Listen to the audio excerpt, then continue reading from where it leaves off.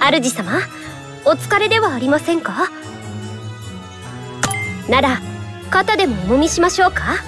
これでも少しマッサージには自信があるんですよ。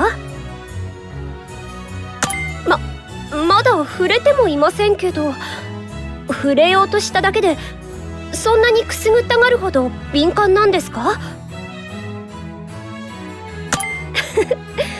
子供の遊びみたいなものでしたけれどね。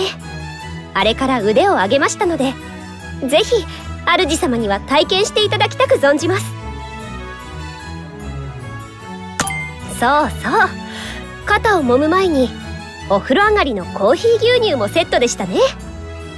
残念ながら今ここにはお風呂がないのですが。